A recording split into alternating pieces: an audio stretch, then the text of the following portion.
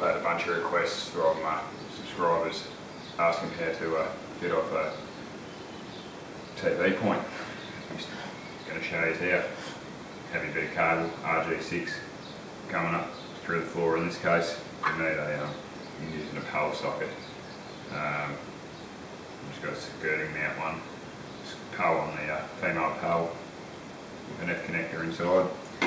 Just an F connector by 7 16 open ender.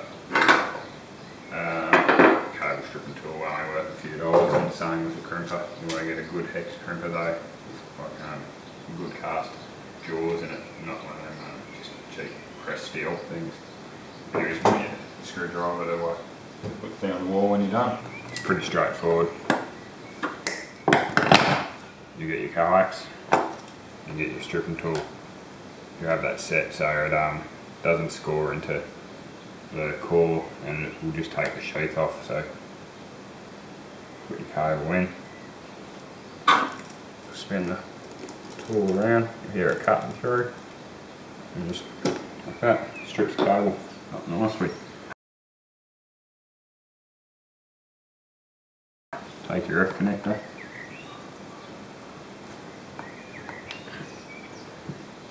push that down to it. Cable seat up there. And all we want to do, these, uh, this tool's got jaws for RG59 and RG6 so just make sure you use the right jaws.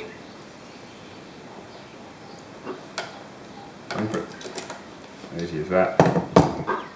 And what you want to do, put it in the bottom of your socket. Only like a 20 to 30 inch pounds um, of torque you want to put on it so that's next to nothing so just maybe an eighth of a turn past finger tight. Grab a couple of screws and stick it on the skirting board